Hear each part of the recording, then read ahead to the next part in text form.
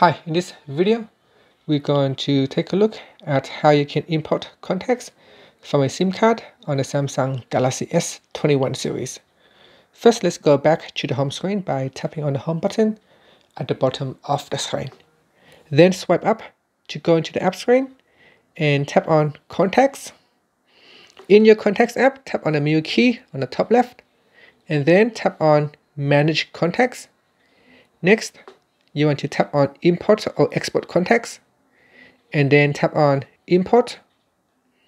In here, choose internet and then it will search through your SIM card to find if there is any, any available uh, contacts to import.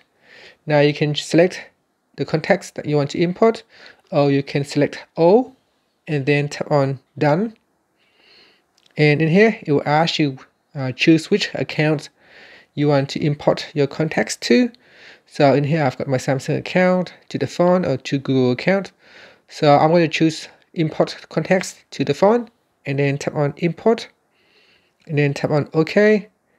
And that's it. So now if I go back to my uh, device, then you can see some of the contacts has been imported and because some of the contacts already exist so it can uh, create duplicate contacts. And that's it. Finally, you can tap on the home button to go back to your home screen. Thank you for watching this video. Please subscribe to my channel for more videos.